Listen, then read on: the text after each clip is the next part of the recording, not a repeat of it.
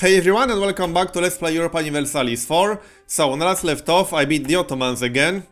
But now I have to revoke my guarantee on at least some of these nations because I'm using 8 out of 4 possible diplomatic relations. So that means I'm losing 4 diplomatic points per month. I should lose one of these once I'm done annexing Hungary and it will be done next month. I'm at 99% progress. But I can revoke guarantee on Styria for example. So let's do that. That should be in influence actions. And I can revoke guarantee on Maria. I think I'll keep guaranteeing Serbia for now. There we go, annexation is done. So I should be at 6 out of 4 now. And I am. So I can revoke this, which will put me at 5 out of 4. I could also revoke my guarantee on Serbia, but if the Ottomans attack Serbia again, I want to be able to defend them. I don't want them to take all these territories again. This is what happened last time. The Ottomans just declared war on Serbia and took all of this territory again. I don't want that to happen because this is 5 provinces. So, I guess I'm okay losing 1 diplomatic point per month. It will go down to 4 out of 4 once I finish annexing Wallachia. It will be done next year, so that's good. I also need to start annexing Bulgaria sometime soon, but I still need a lot more relations with them. Let's work on that then. My improved relations are at plus 41. Alright then, let's work on it. And then there's also Silesia, but I can't do anything about them right now. I want to vassalize them as well, uh, as in I want to annex them as well. But I can't do it just yet, I need to work on my relations. Anyway, I was thinking about going after Crimea next. They are getting a little bit strong, so I want to weaken them. That shouldn't be too hard. And yeah, they are expanding quite a lot. They have territories all the way down here. That's not good. I think they lost some though. They definitely lost some of these provinces. Are they at war with anyone right now? They are... no, just with these guys. That's just one province. So they are going to conquer this one as well. Military access for Denmark? Yeah, okay. So I'm going to declare war on them next. I don't plan annexing any of these provinces. I'll just get them to release some nations, to weaken them, make them lose some territories. Culture conversion is done. Oh yeah, I need to convert these two new provinces to Protestant, yeah. So let's do that, that won't take long. That should be done by the time I annex Wallachia. And I have two missionaries, so that won't take long. Right, so Crimea is going to be my next target. Might as well move my ships over to Bessarabia. I have a large fleet right now and I'm paying quite a lot of gold for its maintenance. Yeah, 18.97 gold per month, that's quite a lot. But I don't plan getting rid of it. Military access for Great Britain, fine. The Ottomans have a large fleet, so if I go to war with the Ottomans again, I'm going to need a large fleet myself. One more army over here. So even though this is costing me quite a lot of money, I'm not going to disband these ships. I have 17 heavy ships, 45 galleys, actually I have more, because more ships are incoming. Alright, I'll just wait for my fleet, and then declare war on Crimea. I could blockade several provinces at once. That's not a problem. I could wait to finish annexation, but I don't think there's any point. Definitely not. Oh yeah, I can invest in new technology that will unlock some special buildings. I can only have one special building per province, so I need to think about this. Plus 50% local tax modifier. Yeah, that one is no-brainer in my richest provinces.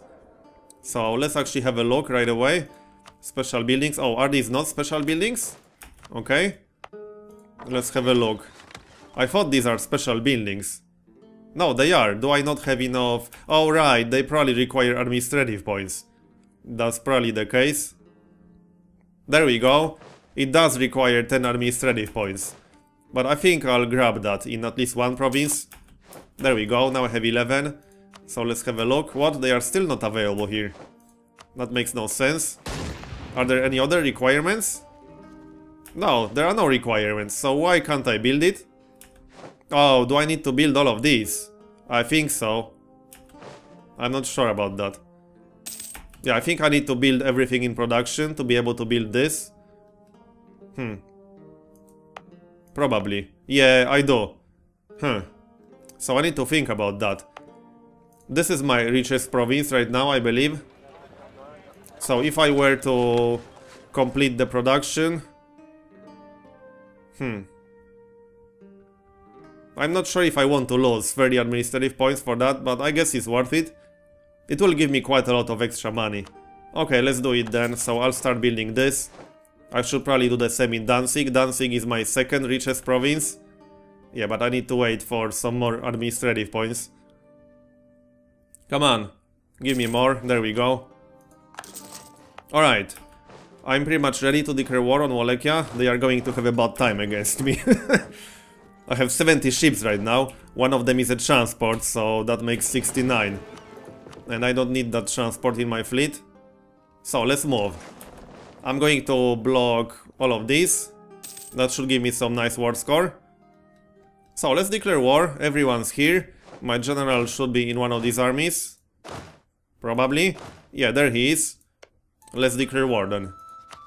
I don't plan annexing everything. Or I don't plan annexing anything.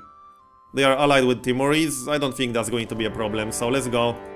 Oh yeah, I didn't raise my maintenance derp. But it's at 50%, so shouldn't be a big problem. They only have 18 ships and 5 of them are transports. So I'm going to win quite easily. I don't expect any other outcome really. Let's start annexing all of these. They might have some kind of army, but I don't expect anything amazing. Okay, interesting. Oh, nice. I can get 100 administrative points if I pay. Yeah, I have a lot of money, so let's pay. Not a problem. Right, I was going to cancel another relation? No.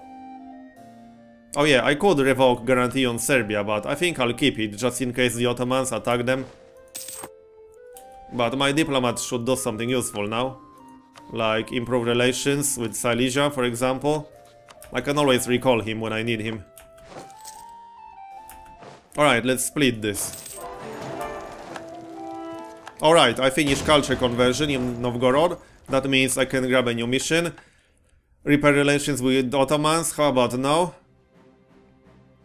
No, I'm not interested in any of these. Conquer Moravia? Not really. I think I'll pass for now. Yeah, I mean, I'm not going to repair my relations with the Ottomans, that's for sure. I could wait for these missions to change. They do change from time to time if you don't pick any. So I'll probably... Oh, wait, they are actually attacking me. I almost didn't notice that. That would have been bad, but I won. Even though they had 20 regiments, and I won anyway. Come here. I'm going to try catching them. Just to get more war score. Now he changed his mind, okay. I don't think so, buddy. What if I move in here? And try to engage him? There we go. He's going to stay there. So I should be able to win that quite easily. Nice, I finished annexing Wallachia. Awesome. Now I'll need to convert these provinces, but my missionaries are still busy. There we go. That was fast. Where is he going now? I can't see. Come on. Where is he retreating? Oh yeah, here, to the southeast. Alright. I could try catching him there. Maybe. I'll just leave enough troops here to execute the siege and follow them. The faster I get rid of his army, the better. I can siege more than this. So let's split this in half. Move them here. And same thing again. The more war score I get, the better. I could get them to transfer some trade power to me, that would be awesome. Oh yeah, more ships. Let's move them here then. I have a large fleet right now. And two regiments in here? How did I miss those? I guess I did. 79 ships, wow. 53 galleys, I didn't even know I built that many. And I think I'm constructing more? No, I'm not. That's good. How much am I paying? With fleet maintenance at 100? Almost 19 gold per month. So that's quite a lot. I'll stop building more ships for now. Alright, siege all the things. More. I could like siege all of their territory right now. 15 army tradition. Or plus 5% military technology cost. Is that a permanent effect? Oh no, until the death of my current ruler. Huh. Well, I'm not sure if I want to lose army tradition. I have 40 and I would lose 15, that's quite significant. I don't really mind getting extra military technology modifier for a bit because I wasn't planning to get more military technology for now. I was going to spend some points in offensive ideas instead, so let's get that modifier until, until my current ruler dies. I don't mind. Conversion is done. I should convert some more, probably. Are there any new missions? No, there are not. So let's convert some of these. This one is Hungarian. I need to keep some diplomatic points. Siege is done. Oh yeah, my missionaries are working on this, or what? No, they aren't. One of them is done. So let's convert this. Anything else that I need to convert? I don't think so. I can just use culture map mode, that's easier and faster. If I can actually find it. Oh yeah, there it is. Oh yeah, this is Russian, so I can convert this. There are actually quite a few provinces that I didn't convert. I need to keep some diplomatic points though. Need to be careful not to spend them all. This one? Yeah, Maramaros, this is Ruthenian. That's only 25 points. And I think that's about it. This one? Alright, I think that's it. I'm down to 12 diplomatic points, which might not be enough to actually sign a good peace deal here. But by the time I'm done sieging all of this, I'll get more diplomatic points, so that's not really a problem. I'm just waiting for all these sieges to finish now. That's pretty much what I'm doing. So let's move and help here. I can siege this one. Yeah, this is going quite fast actually. 28% war score already. I could probably get 100 if I really wanted to. Yeah, they don't have that much territory actually. Plus 10% tax modifier. Yeah, I think I'll grab extra tax modifier. The more money, the better. Another siege is done. And I see their army right here. Where are they going? I should probably try to engage them. I'm not quite sure what exactly they are doing. They are going to Kaffa, but what for? I have no idea. I guess I'll just follow them. But now they can't go anywhere, so they are cornered. I could get rid of the rebels, but I see no point. Right, let's beat this army. That's their only army from what I can see. Unless you count the fleet. but their fleet isn't actually doing anything useful. Well, that was easy. Wow, that's a lot of war score. 6.43, seriously? Bigger army. I'll grab extra base tax. So, siege this. This is going to be a very one-sided war. It already is. Convention successful. Yeah, I'm not going to bother with the rebels. I see no point to waste my troops. Unless they actively attack me or something like that. Another siege is done. Peace offer from Crimea. Not interested. We can have a peace deal when I get more war score. Another conversion is almost done. How's my gold right now? Minus 10 gold per month. Yeah, that's not great. That's partially because of my advisor. I have one level 2 advisor, but I'm also paying a lot of money for my army maintenance. Yeah. But that's okay. I can sustain this for a while. I won't be sieging all of their territory, but I'll get some more war score. Just because I can. So let's grab some of these. But yeah, not too many. I don't want to get too greedy. This should be enough. And you go join these guys. No, not here. I want to beat this army. There we go. One war score for beating, what, two regiments? That's kind of impressive. Alright. I'm not interested in your offer. Decline. What's that? Hmm. Oh, that's not good. I have to increase my technology cost for one year? Oh, one year only. I don't mind then.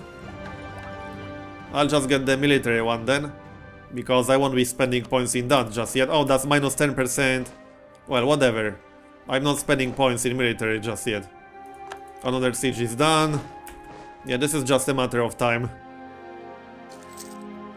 So I'll finish a few more sieges and then see what kind of peace deal I can get for this.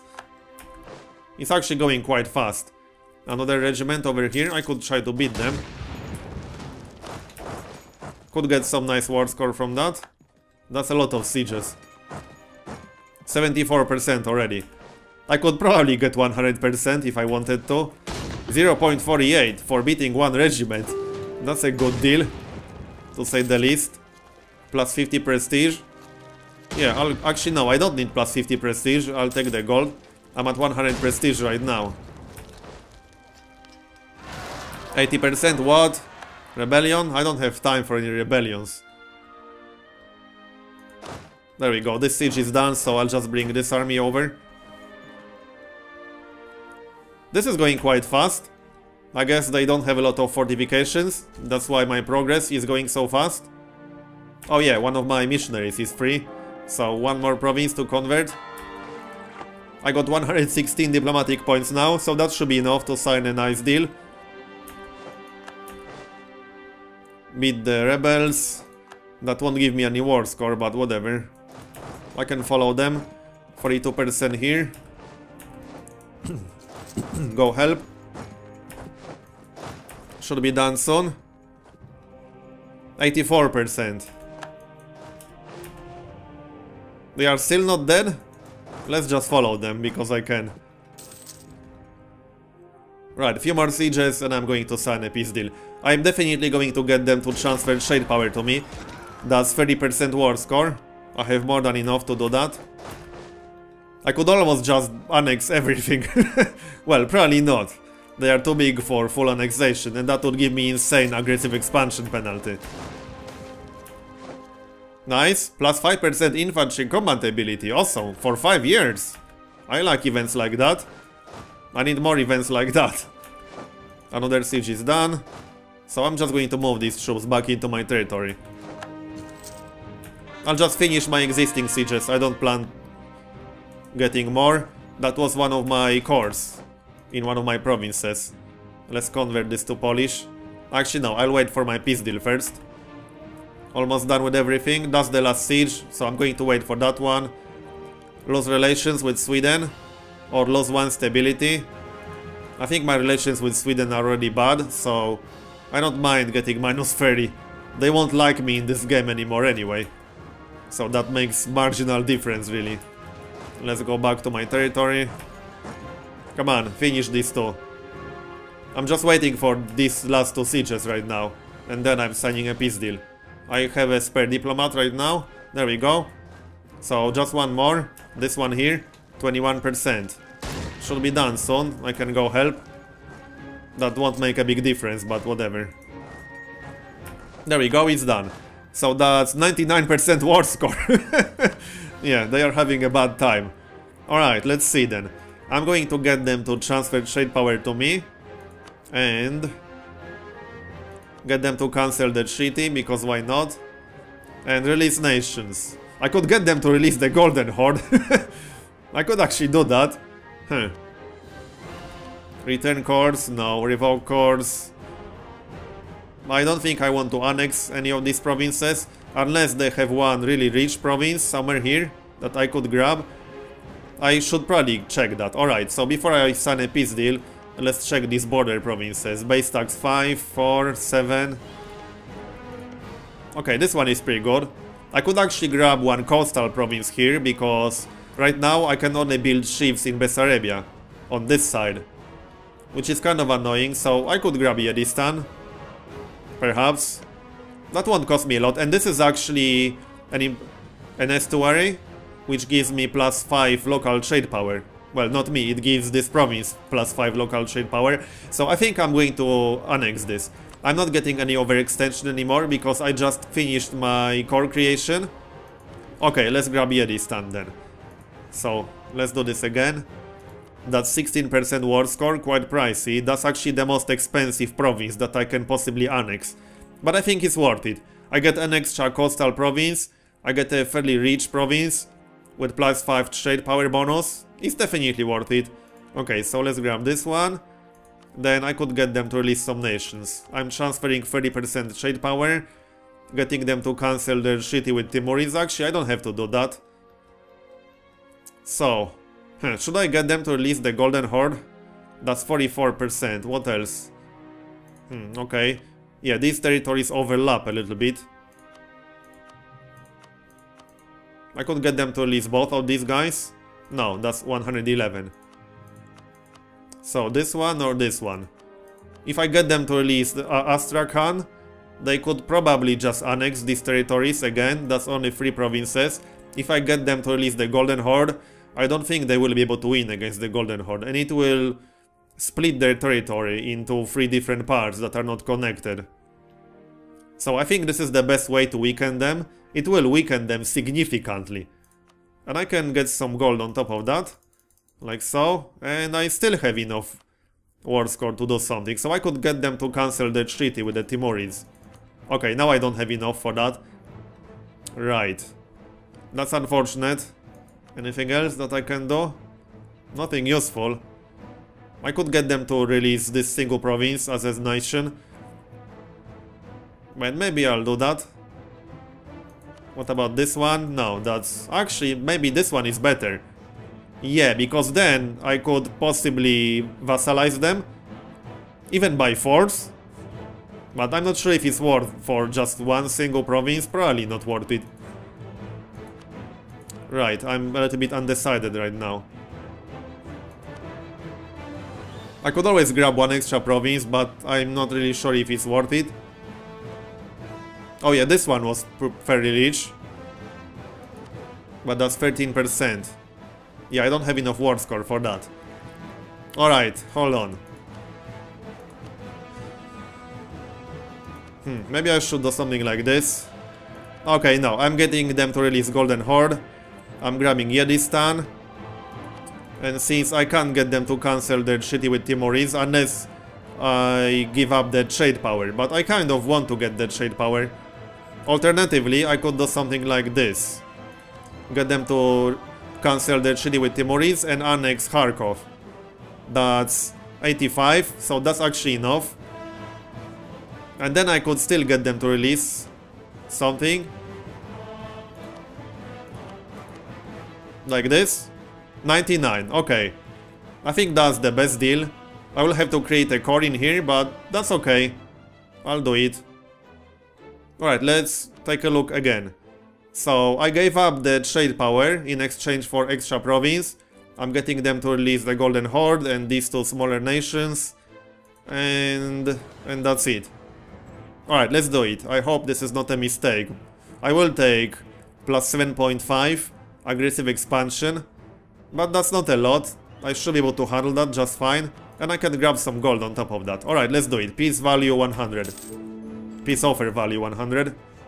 So there we go. I spent 66 diplomatic points to do that. But it's fine. I think that was worth it. Now I need to create cores in here. This is a pretty good province. It has 7 base stacks, so that's good. And this one is good as well. 104 points to create a core in here. And 146 in there. Not cheap, but again, I think it's worth it. I can start core creation right away. I had enough points to do that. So, this is the current situation. They definitely won't be a threat anymore. I think the Golden Horde is actually stronger than Crimea now. Actually, no, probably not. But they are weakened significantly now. They will not be a threat anymore. The Ottomans are still the biggest threat to me, pretty much. But other than that, it's just the Ottomans and Sweden. So I'm going to finish this part here and continue in next one. Thanks for watching, and I'll see you next time.